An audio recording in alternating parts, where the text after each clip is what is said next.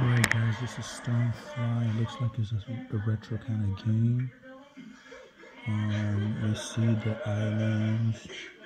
We see the like small characters and stuff. Um, we see like some kind of bugs or something. This lady's over here. She's one of the characters in the show. And then we see um, these other characters. They look kind of mean. And then we see like a leaf and then we see pretty much it's called Stonefly. It's like a bug anime. From what I'm getting from that, I'm seeing like different creatures. Anyway guys, what did you think about that? Let me know in the comments below. Please subscribe and I'll see you next video. Okay then bye. Okay then bye.